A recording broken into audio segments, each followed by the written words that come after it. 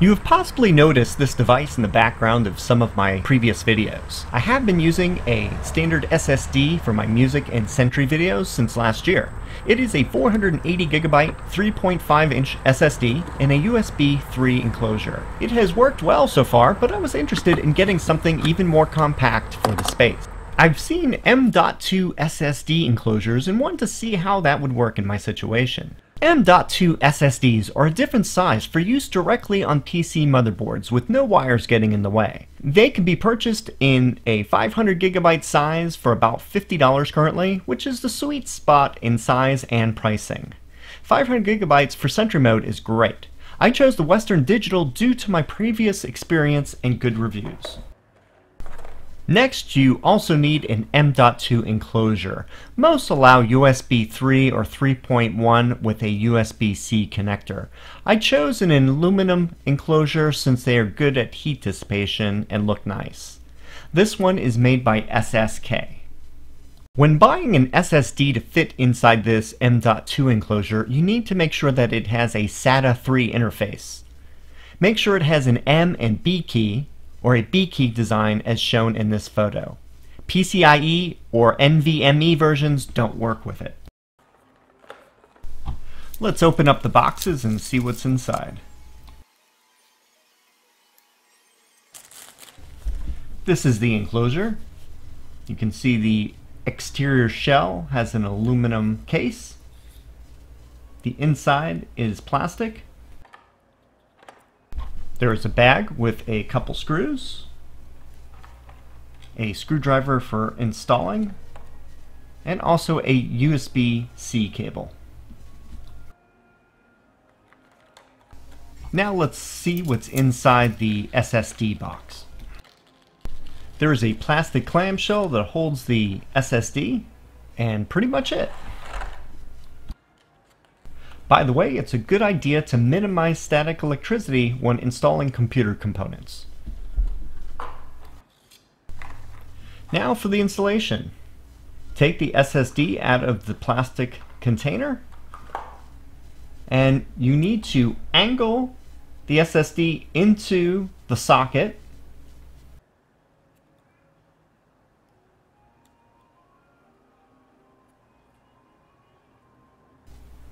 Then you can press down and it will clip into the enclosure.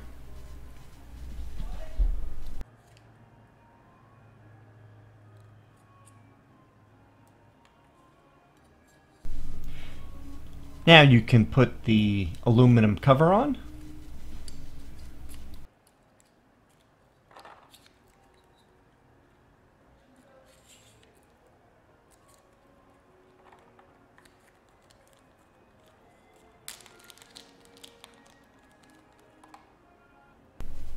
Secure the cover with the included screw.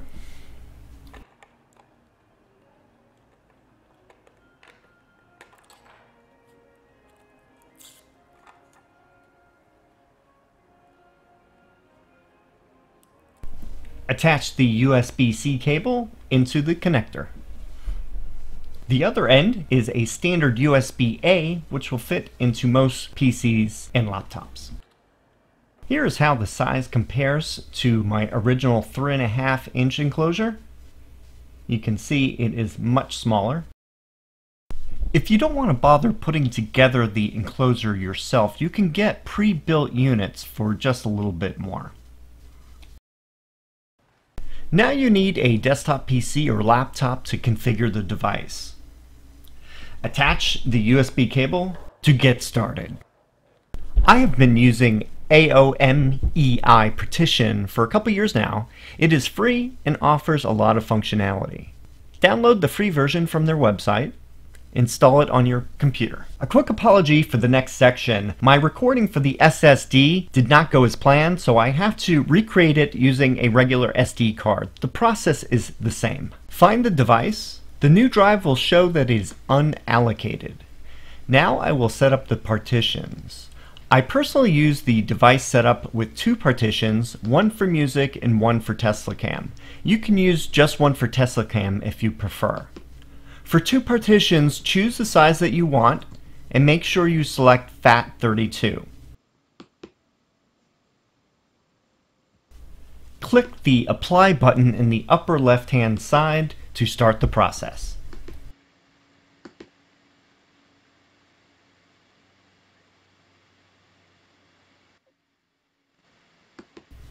Do the same for the other partition.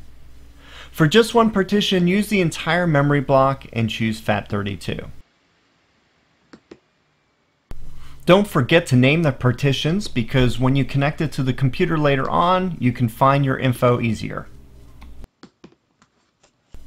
The great thing about using two partitions is that you only need one device to be connected to the car. Tesla will automatically record the TeslaCam and SentryCam video files to the TeslaCam partition and you can also listen to music from the music partition and you can use both simultaneously. Here you can see both partitions on one drive. Once formatted, you are done with the software. Now start Windows Explorer and go to the TeslaCam partition create a directory called TeslaCam, capital T, capital C, as all one word. For music, you can copy the files directly onto the partition for music. I personally put them in folders alphabetically by artist. The car will automatically find them and use the USB option in the car's audio section. TeslaCam and SentryCam will be able to use the SSD once connected.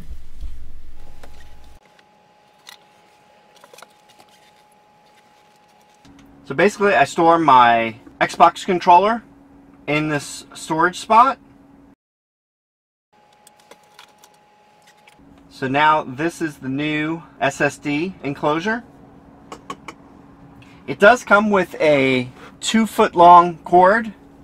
So I may get a smaller cord, say one that's only this long. Let's attach it. Lastly, to make the install a little cleaner looking, and so the drive doesn't move around, use a Velcro command strip. These are my favorite for no residue removable attachment. I happen to have this one available, but to better blend in with the interior, use the black versions instead of the white ones. Remove the tape film and then attach the command strip to the center of the enclosure. Remove the other tab and now you can attach it to the back of the storage area.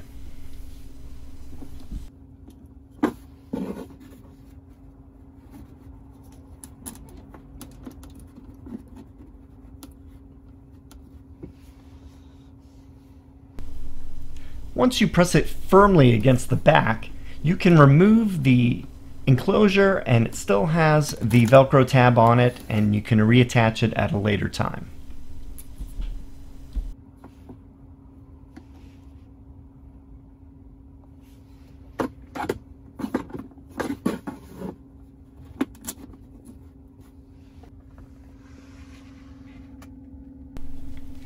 Here's a close-up view of the finished install. It takes up very little space.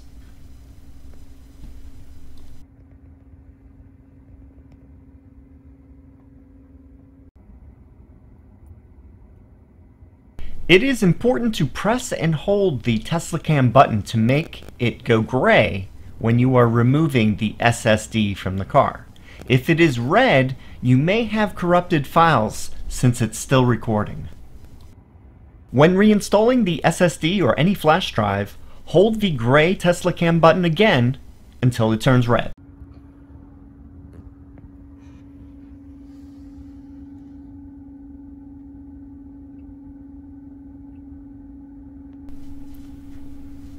As you can see now with this complete project, I can fit the SSD enclosure along with the game controller, box of tissues, um, I also have a tray that holds my sunglasses and pens. Everything fits in nicely now. Thanks for watching. See you in the next video.